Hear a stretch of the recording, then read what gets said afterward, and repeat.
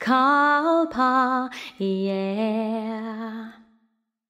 One happy birthday dot com.